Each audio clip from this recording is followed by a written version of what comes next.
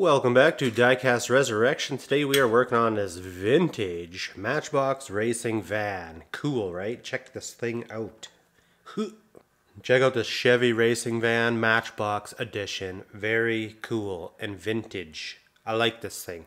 So today we're going to do a restoration on this bad boy. I got a box in the mail from subscriber Patton. Awesome dude, long time subscriber. He sent in a bunch of cool things. And a lot of them are off-road related. We got sent in two of these off-road vans. One of them we're going to restore like this with factory wheels. Just because these are humongous wheels and you don't want to just throw those in the garbage, man. Look at those things. They're like monster truck tires. I really like this van. Back in the day, Matchbox made a lot of cool, cool things. Let me show you another one. This one isn't from Patton. This is one of mine. I haven't done anything to it because the, the cab is crushed in one area here unfortunately. So she's a little bit crushed and cracked and it's kind of a cool little truck as it is, as Aspen Ski Holidays. You know, I like this thing. Me, I just like seeing it around. I feel the same way about this Matchbox van. I figure we'll restore this one and I think I'm to paint the graphics on today. We'll do some stencils for the lettering, the Matchbox logo and the little BF Goodrich down at the bottom. I'll do that with decals, but I think the, the main color patterns here, I'm going to just try to paint and color match. So that's what we're getting into today, so um, uh, let's get started. let's see, this Jared drill bit to get the job done.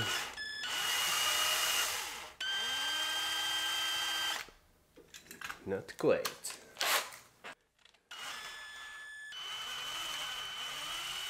You're a good man, Patton, for sending in some cool projects. We got a little Chevy Blazer. We have a couple other little things too. So I'm looking forward to um, working on all these projects. I love that this thing has blue glass. Keeps that vintage vibe. These things are built for taking some jumps. See that? You got to drill more rivets just to get these wheels out of there.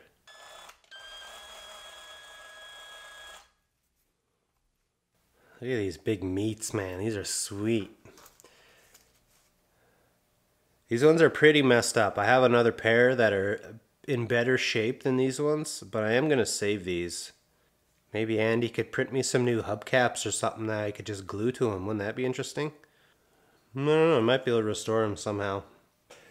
Do do do do do do do do. Beep beep beep beep.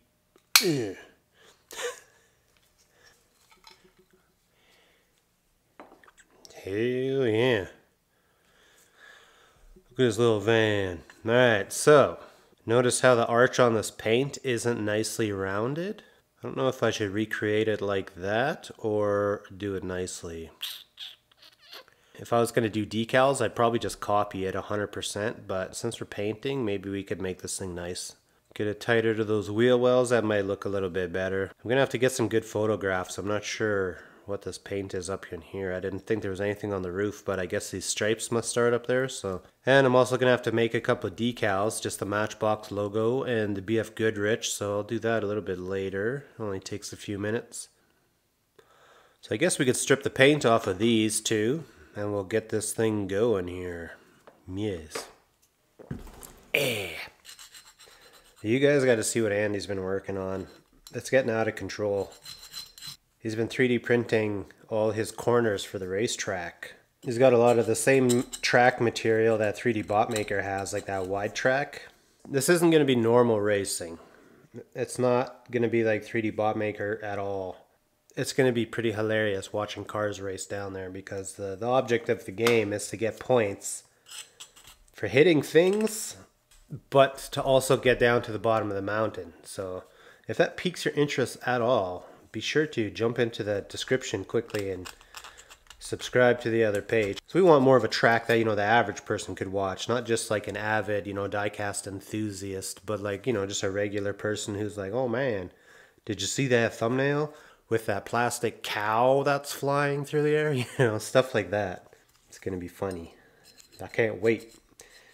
But yeah, he's been making mad progress on his tracks and um, all the corners and stuff he's been working on, designing his own stuff. All right, this one's looking pretty good. Man, someone must have been pretty nice to this thing. As soon as the paint got worn off it, they probably stopped playing with it or something because it barely even has any bumper car dents. Alright, this thing's looking pretty clean. I'm probably going to go give it its final cleanup and then we'll do a coat of white on here and I'll put a little bit of clear coat. While I'm there, I'll probably do this black and get some clear coat on this as well. I think I might want a chrome grill, you know? That might be cooler. I had a 1980 Chevy, so I'm kind of partial to these grills with the, uh, the round headlights. So we'll head to the paint booth, we'll put some white on here and some clear coat. And then maybe I'll come back and polish this while this is drying in the paint oven, okay?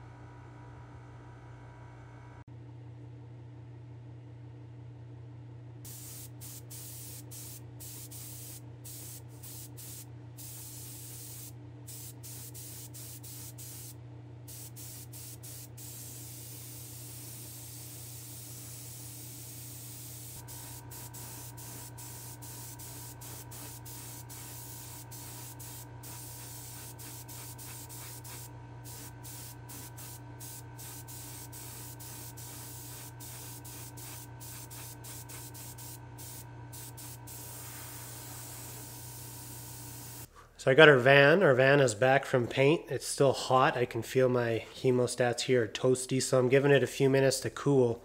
But we'll probably try do the painting on this first before we do our decals. So I'm just going to set these to the side for now. And we will get ready to start doing some taping on this. I guess I'll use this terrible little stand again. hate this thing. There we go. I'm just going to start taping. That logo should be straight. Their little machine must have been a little bit cockeyed that specific stamp. So this is going to be tricky.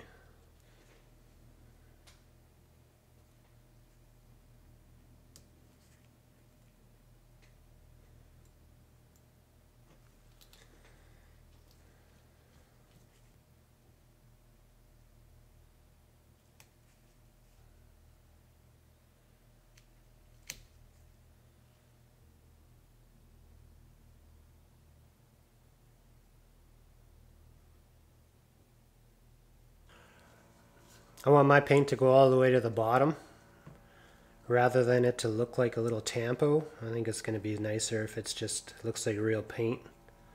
I mean, it is real paint. It should look better than their little tampo stamper they got going on over there.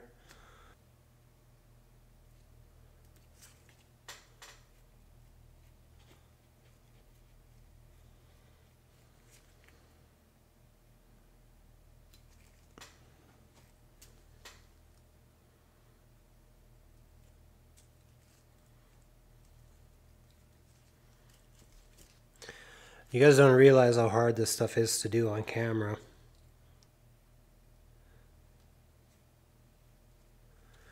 You don't even realize, man.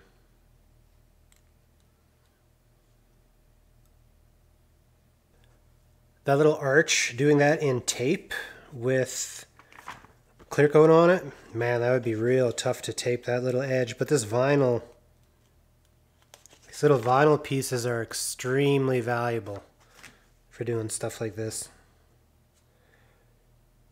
Couldn't live without it. I should be getting one of those vinyl cutters in the next, uh, I don't know, probably next month.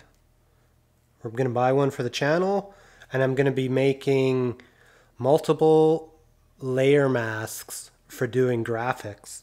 So that should be exciting. You guys ever paint your own tampos back on? Leave me a comment. I want to hear about it if you do. What's the most crazy tampo you guys have recreated? This is my craziest. This is the first time I've actually painted a tampo back on. But, you know, I got to get back in shape for the channel here, and so I need to do this stuff anyways. So that looks pretty good to me. I'm to mask the other side. I'm not to film it, though, because it's to be way quicker if I just do it. But I plan to spray our orange and then we'll peel off the other side, cover the orange, and then spray that kind of uh, maroonish color. And then hopefully we have a nice tampo.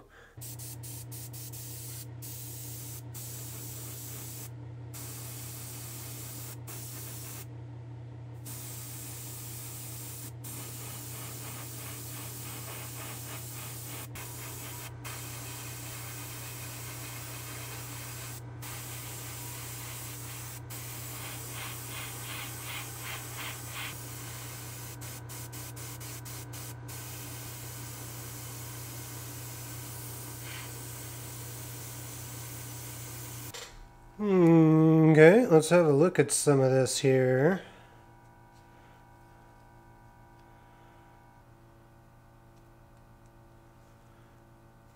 Beautiful. Beautiful. That's what we want, a nice crispy line.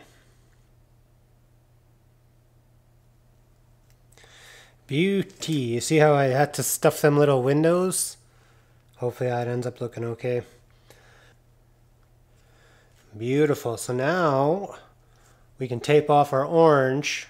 I'm going to give this a little bit of time to dry first. So it's dry to the touch already, but I got to give it a little bit of extra time if I'm going to tape on it.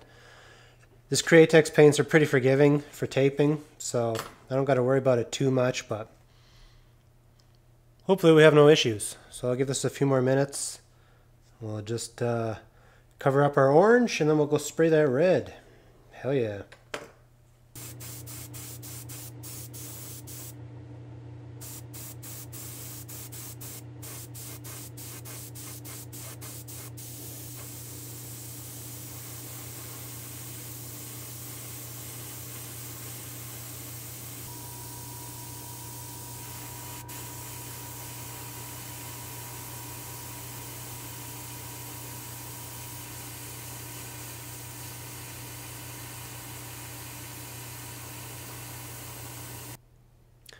Alrighty, that's looking great.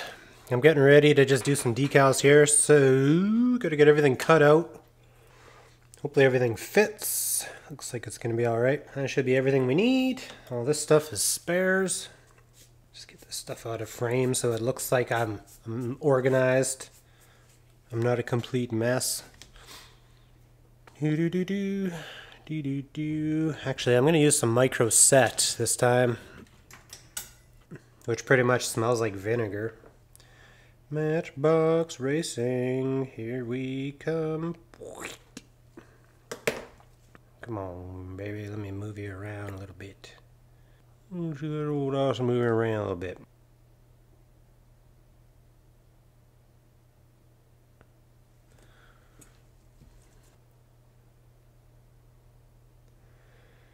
BF Goodrich.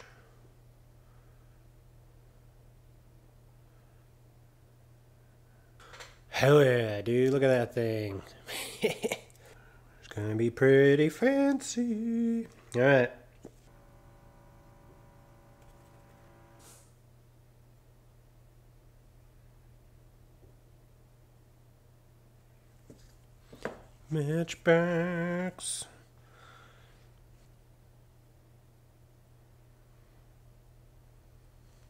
Do, do, do, well, it's a fancy van, eh?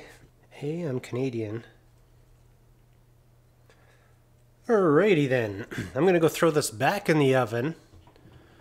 And I'm just to let all the water and stuff evaporate from this. And then I'm to clear coat. Actually, I shouldn't paint the base.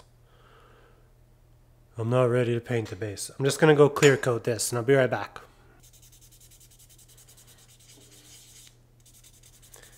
Thanks again for Patton for sending in all this stuff. What a good guy. You'll see more of his cars coming up. He's got all kinds of cool ones. There's like a, there's like an OJ Bronco. Can I call it that? Let's call it an OJ Bronco. Sweet, scratches are now taken care of. We'll switch over to 2000 grit.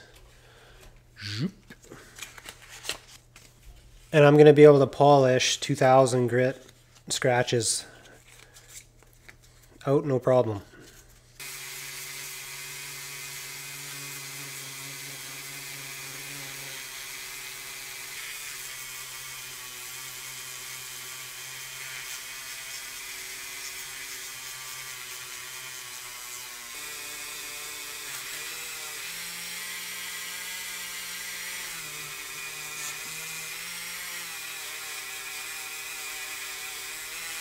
So I'm about ready to do an assembly here. These were the best factory wheels that I had and they even needed a few little touch-ups, so they're not too bad. We're gonna roll them. Just did some mild little details on there. Base is looking better than ever. Nice and shined up, polished and waxed. Here's our glass. I did a quick little polish on that as well. So allow me to do a quick assembly here and then I will introduce the new and improved Matchbox Racing Van. Give me one second, please.